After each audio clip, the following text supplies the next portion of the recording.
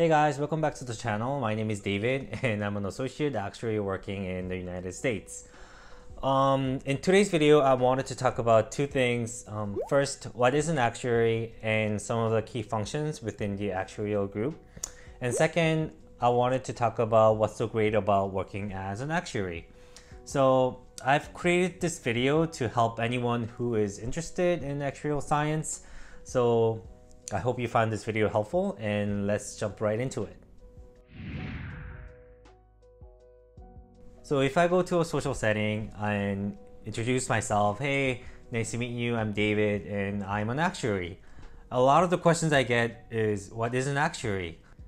And in my own term, actuaries are problem solvers where we use our mathematical, statistical, and business skills to quantify financial risk. Most actuaries work in an insurance industry where we provide helpful analysis and insights to the companies.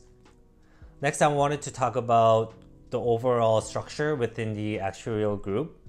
First, we have the pricing team where we determine the risk fee and the premium based on different product design. Second, valuation. They calculate reserves. So reserve is a liability that the insurance companies needs to hold in order to pay out future claims that is promised to the contract holders.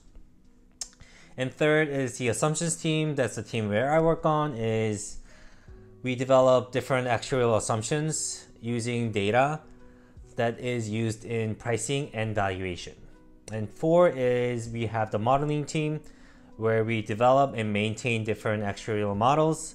And number five is capital and ALM where we work on capital modeling and asset and liability management to ensure that the insurance companies are holding sufficient amount of capital for solvency.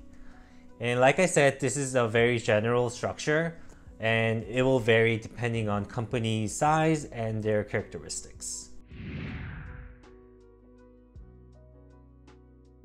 So what's so great about working as an actuary? Personally, there are three things. First is the work is challenging and interesting. Second, company usually have a, something called a study program that will help you to get through your actuarial exams. And three, I think it has a really good job work-life balance compared to other professions. As actuaries, we need to learn and develop our skill sets in order to do our job.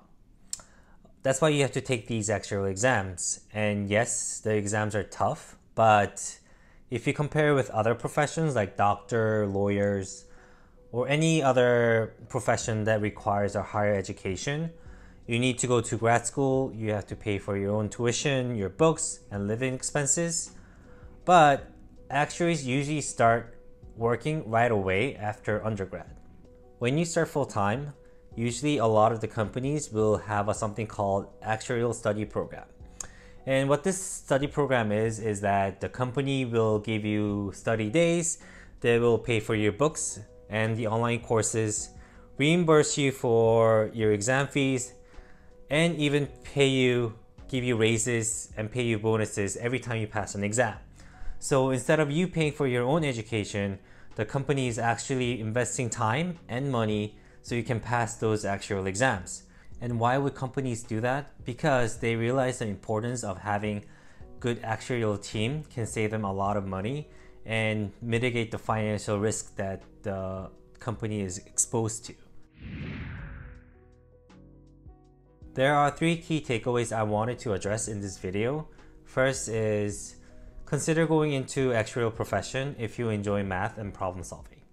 Second, companies usually have a, something called an actuarial study program that will help you to get through those actuarial exams.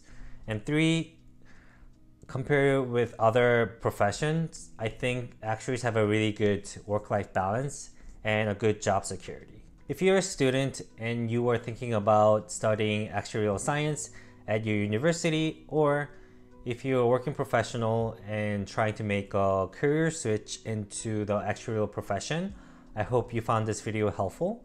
And if you have any other questions, please leave the comments down below. Thank you guys for watching and I'll see you in the next video.